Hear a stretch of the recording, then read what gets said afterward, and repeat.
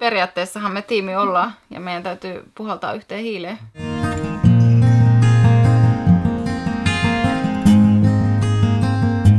Ei siitä hommasta silloin tule mitään, jos, jos me jotenkin kummatkin sovelletaan ihan omaa, vaan meidän täytyy niin kuin yhdessä tiiminä mennä eteenpäin. Niin.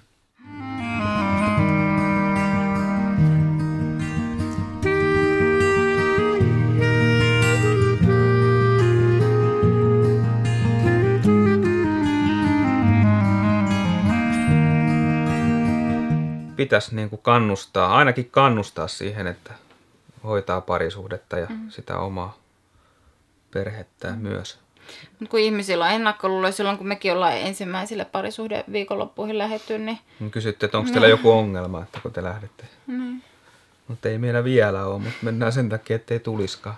Mm. Niin, me on koettu, että se on hyvä ennaltaehkäisevä työ. Saa jotain työkaluja ja joka kerta on saatu. Ei mm. ne mitään helppoja viikonloppuja, että kyllä mä oon varsinkin kun mä oon herkkä, niin yhdet sun toiset itkut siellä ottanut asiasta kuin asiasta, mutta, mutta et sitten taas kun niitä asioita, ihan perus arkeen liittyviä asioita voi puida niin kuin rauhassa ja vielä, vieläpä niin kuin ulkopuolisen avun turvin, niin kyllä niistä niin kuin iso hyöty sinne sitten oma arkeen.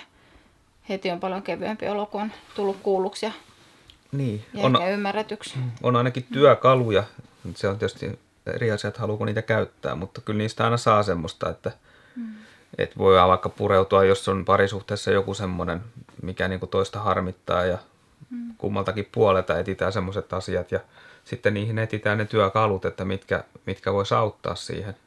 Se on sitten sun itse päätettävä, että käytätkö sä niitä työkaluja, mutta kyllä sä monesti saa semmoiset hyvät, hyvät, että kannattaisiko teidän kokeilla tämmöistä ja, ja sitten kun siellähän on myös sitä vertaistukea sitten, että sit joskus jaetaan niitä asioita niin kuin porukallakin ja sitten joltain toiselta pariskunnalta voi tulla, että heillä on kokeiltu tälleen. Ja...